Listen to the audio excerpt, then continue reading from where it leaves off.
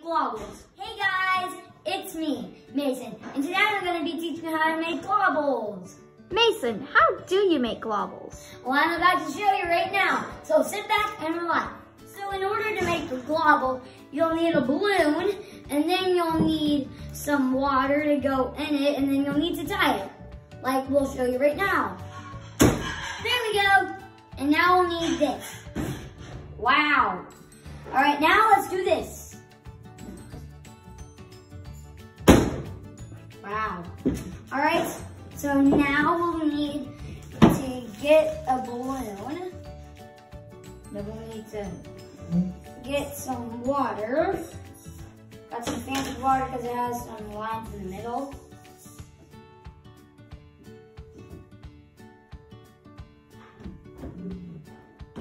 We're gonna go into a time lapse so you don't have to wait much longer.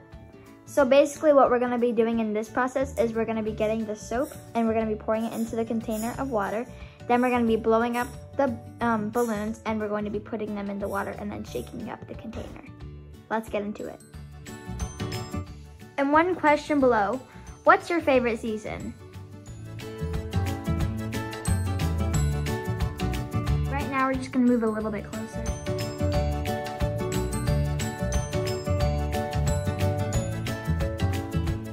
Now what we are going to do is we are going to place the balloons inside of the water. There's the water inside the container. So just place it in, Mason. Mm, just keep them in there. Mm -hmm.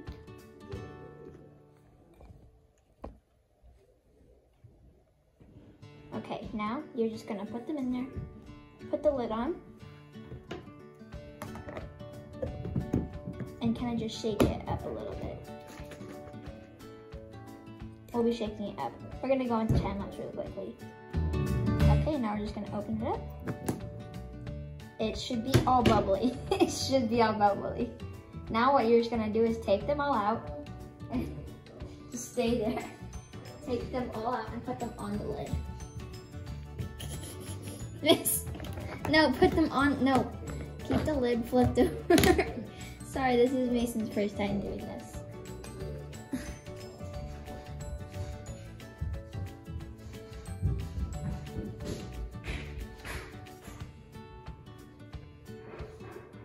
Yay! Oh my god.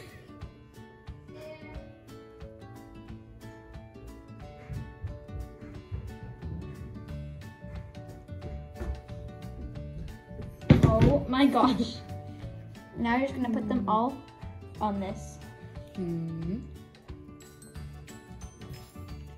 Make sure that's all of them from out of there. mm -hmm.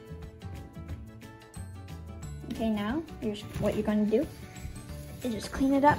We'll put this over to the side because we've made quite the mess.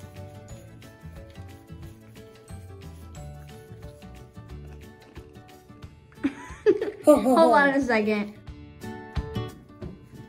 All right, we are back and now we are just going to take them out because we were cleaning them up and drying them up. They should start sticking to each other now.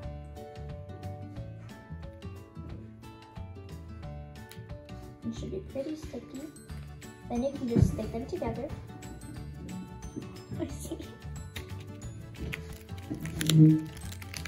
now they should be pretty sticky.